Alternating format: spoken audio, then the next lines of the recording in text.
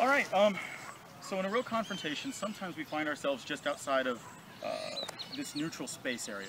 What I want to talk to you about today is the way the eyes process information.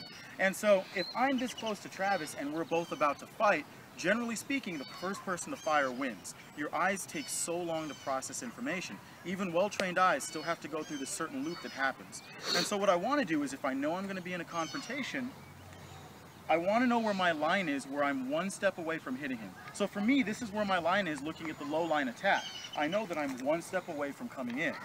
It's going to be a little bit closer sometimes if we're talking about the hands, and this is the edge of my line. So if Travis takes one step forward, then I know that I'm only one step away from hitting him. You have to know where your line is, and so I want to cover a drill where if anybody gets inside that space, you should be in contact with them, bridging with them, or hitting them. Because otherwise, this close to each other, the first person to fire is usually going to win. And so if Travis is just standing straight up, he can be a wall, it can be a bag, whatever I need, a heavy bag, doesn't matter. I want to practice to where one step, I know I can touch my target. Or one step, I know I can touch my target.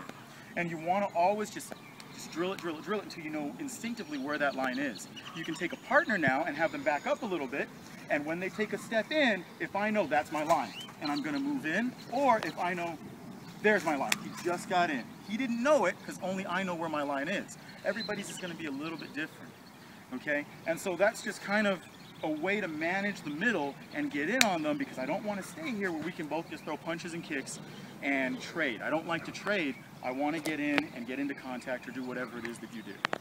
Okay? All right, a lot of times what happens is, uh, from what I've seen, is we either want to dive into the body or we get stuck in the middle trading blows. And if we're trading blows, that, that can be a very difficult place to be if I'm not out on top. What I want to do, if we're talking about entering techniques, and this is a huge category of techniques in Kung Fu, I'm just going to demonstrate a couple of basic ones right now, is I want to be able to hit him and bypass his arms, but still keep myself safe. One of my favorites, and I use a staggered guard, but it works just as well from here.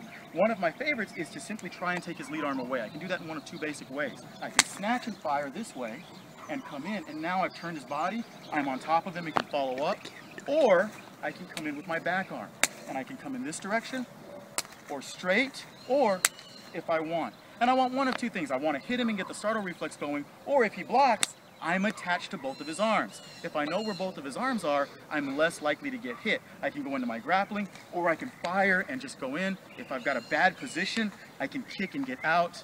I can do all of the things that I need to do as long as I begin to manage his arms and keep him from hitting me while I'm trying to hit him or move in.